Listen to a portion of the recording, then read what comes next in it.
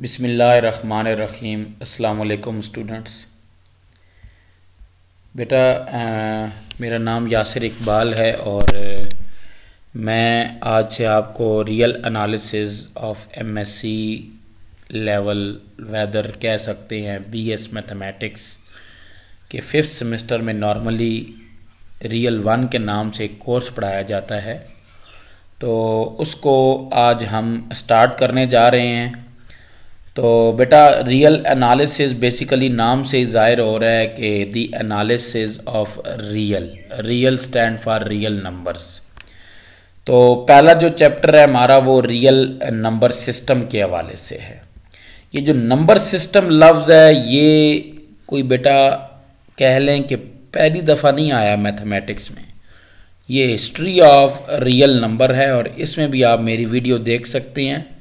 जो normally first year में chapter one है first year mathematics Punjab text book के जो चैप्टर वन है नंबर सिस्टम तो उसमें ये कम्प्लेक्स नंबर रियल नंबर के बारे में हिस्ट्री बयान की गई है कि एंशियन टाइम में ग्रीक टाइम में नंबर्स की एवोल्यूशन थ्योरी कैसे वजूद में आई है, ठीक है? तो उसको भी आप, यानी कि एक on the other hand discuss कर सकते हैं जब मैं जूम क्लासेस में आपको यानी कि इंटरटेन कर रहा हूँ रिगार्डिंग रियल एनालिसिस फिल वक्त हम रियल की बात करें तो रियल नंबर्स क्या होते हैं? अगर मैं इसमें स्पेसिफिकली इस चीज़ की बात करूँ बेटा तो रियल नंबर्स यूनियन होता है बेसिकली रैशनल का और इरेशनल का.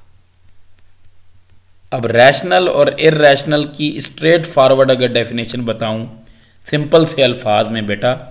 तो रैशनल वो हैं कि जो टर्मिनेटिंग और रिकरिंग फॉर्म में लिखे जा सकते हों। ठीक है टर्मिनेटिंग का मतलब है पॉइंट के बाद चीज़ें ख़त्म हो जाएँ डेसिमल ठीक है डेसिमल के बाद चंद एक टर्म्स आएँ और नंबर कैलकुलेट मुकम्मल हो जाए तो ऐसी चीज़ को टर्मिनेटिंग कहते हैं और रिकरिंग को मतलब है कि ख़ास पैटर्न से डेसिमल के बाद वो चीज़ें रिपीट होना शुरू हो जाएँ। तो कोशिश बेटा मेरी यही होगी कि जितना आसान वे में आपको एम एस सी मैथमेटिक्स या बी एस फिफ्थ सेमेस्टर की रियल एनालिसिस को मेरे टीचर जो हैं डॉक्टर अतीकुर रहमान साहब, इनकी काविश के से जो है मैं आप तक पहुँचा सकूँ, क्योंकि ये नोट्स उन्हीं के ही हैं।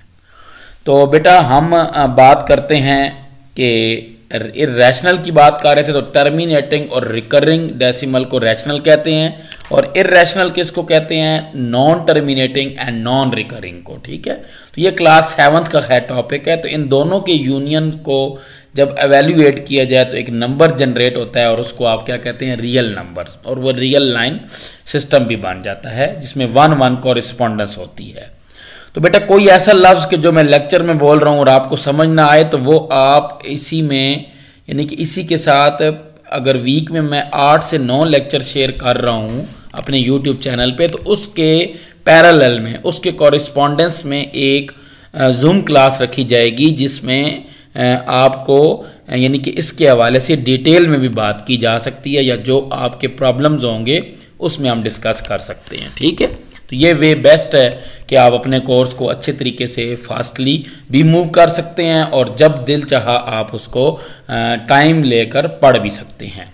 तो बेटा, आम बात करते हैं, जी रैशनल रैशनल की बात हुई रियल की बात हुई रियल नंबर सिस्टम अब इस रियल नंबर के रिगार्डिंग जितनी प्रॉपर्टीज़ है ना, हम उसको डिस्कस करेंगे। लेकिन उससे पहले मैं अगर ब्रीफली थोड़ा सा और एक्सप्लेन करूँ तो ये जो बेटा मैंने क्यू लिखा है और क्यू प्राइम लिखा है, ये रैशनल और इरेशनल का सेट है। लेकिन जब हम इसका इंटरसेक्शन लेते हैं तो डिस ज्वाइंट आता है। इंटरसेक्शन डिस ज्वाइंट मीन्स कि इंटर, इनका इंटरसेक्शन क्या आ रहा है? फाइ आ रहा है ठीक है?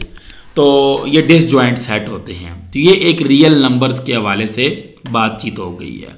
अभी जो पैराग्राफ लिखा हुआ है इसको भी स्टडी कर लेते हैं। अब पैराग्राफ में देखिए बेटा तो बात करता है the rational number system is in advocate for many purposes use हो सकते हैं। कई मैथमेटिक्स की फील्ड्स में जाकर both has field as an order set for many purpose this leads to introduction of so called irrational numbers means कि अगर हम रैशनल पढ़ते हैं तो दूसरी कैटेगरी हमें लाजमन पढ़नी पड़ती है और वो है इरेशनल नंबर्स की। तो हम ये प्रूफ कैसे करेंगे बेटा कि कोई नंबर रैशनल है और कोई नंबर रैशनल नहीं है? यानी कि इरेशनल है तो इसको आसान है प्रूफ करना। मैथमेटिक्स में एक वे है कंट्राडिक्शन मेथड तो कंट्राडिक्शन मेथड को हम यूज़ करेंगे। तो उसी को देखते हुए ज़रा हम थ्योरम नंबर वन पे आ जाते हैं बेटा। तो जो थ्योरम नंबर वन है, अगर आप इसमें देखें तो थ्योरम नंबर वन आपके पास बनता है there is no there is no rational number P such that P square is equal to two बेटा कॉमन सेंस की बात है, ऐसा कोई नंबर नहीं है रैशनल कि जिसका स्क्वेयर लेने पर टू आ जाए। वो इरेशनल ही सकता है स्ट्रेट फॉरवर्ड सी बात है, क्योंकि जब भी आप इस इक्वेशन का प्योर क्वाड्रेटिक का आप जब भी स्केयर रूट लेंगे तो you will get plus minus square root two तो मीन्स ऐसा कोई भी रैशनल नहीं है। तो ये तो इरेशनल है ना बेटा? ये तो इरेशनल है। जिसका स्क्वायर लेने पर टू आ रहा है। रैशनल ऐसा कोई नहीं है कि जिसका स्क्वायर लेने पर टू आए। तो ये प्रूफ आप फ़र्स्ट ईयर में पहले भी कर चुके हैं। कैसे? आपने बेटा याद होगा प्रूफ किया है कि proof that square root two is an irrational number तो कोई मसला नहीं है। बात तो वही है कि proof that square root two is an irrational number में हम कंट्राडिक्शन क्या लेते थे कि we suppose that square root two is a rational number अब क्या है? अब कहता है कि there is no rational number P नहीं है कोई रैशनल नंबर पी मतलब एर रैशनल है, जिसका स्केयर लेने पर टू आ रहा हो। तो एक जैसी स्टेटमेंट्स है बेटा। तो स्टेटमेंट्स में खैर कोई फ़र्क नहीं है। अलबत् लेवल बदल गया है, थोड़ा सा पढ़ने का स्टाइल ज़रूर बदलेगा, लेकिन है वही काम है, ठीक है? तो इसमें ज़रा देख लेते हैं कौन कौन सी चीज़ें जो है प्रॉब्लम करेंगी। तो प्रूफ बेटा स्टार्ट करते हैं contradiction method on contrary we suppose that there exist rational number P हम ये मान लेते हैं थोड़ी देर के लिए कि ऐसा rational number P such that P square is equal to two है। दिस इंप्लाइज दैट के अगर वो रैशनल है बेटा तो रैशनल की डेफिनेशन कहती है कि जो रैशनल नंबर होता है उसको पी बाई क्यू फॉर्म में लिख सकते हैं। ठीक है जी? चलें पी बाई क्यू फॉर्म में हमने लिख लिया, यानी कि एम बाई एन फॉर्म में where M N belongs to set of integers और एम और एन अपने लीस्ट कॉमन फैक्टर में है। यानी कि उनमें दोनों में कॉमन वन वन के अलावा कोई चीज़ नहीं है। हैव नो कॉमन फैक्टर यानी कि यह भी कहा जा सकता है कि इनका जी सी डी वन है। ग्रेटेस्ट कॉमन डिवाइजर इन दोनों का वन है। यानी कि इन दोनों में कोई चीज़ कॉमन नहीं है। ये दूसरे अल्फाज में कहा जा सकता है कि ये रिलेटिवली प्राइम है। ऐसे दो नंबर्स जिनका जीसीडी वन होता है, वो रिलेटिवली प्राइम होते हैं। तो ये हमारे पी के ऊपर ये सारी की सारी सपोजिशन है। ठीक है बेटा? तो ये बात आपने माइंड में रखनी है। अब आ जाते हैं जी कि, अगर ये बात है P is equal to M by N तो पी स्केयर इक्वल है किसके? टू के। तो M square by N square यानी कि स्केयरिंग कर रहे हैं तो टू के इक्वल है तो एम स्केयर किसके इक्वल है? टू एन स्केयर के। तो बेटा ऐसा कोई भी नंबर जो एम स्केयर इक्वल हो टू एन स्केयर के तो पता चला ये तो इवन है। ये पूरी चीज़ क्या बन जाएगी? इवन तो मतलब एम स्केयर इवन है। अगर एम स्केयर इवन है फॉर एग्ज़ाम्पल जैसे फोर इवन है, ये टू का स्केयर है तो जहरी बात है टू भी इवन होगा। अगर सिक्सटीन इवन है तो इसका स्केयर जब हटाएँगे बेटा तो फोर भी इवन होगा तो ऐसा कोई नंबर नहीं है कि जो जिसका स्केयर इवन हो और वो खुद इवन ना हो, ठीक है? ये एक स्ट्रेट फॉरवर्ड रिज़ल्ट है मैथमेटिक्स का तो इस पे कोई एज सच आप कह लें कि प्रूफ नहीं है, ये तो स्ट्रेट फॉरवर्ड सी बात है कि एम स्केयर अगर इवन है तो एम भी इवन होगा। अगर इवन है तो M is divisible by two ठीक है? अब ये बात कहाँ से पता चली है बेटा? देखें, यहाँ से पता चली है कि आपके पास M square is equal to two N है, ठीक है?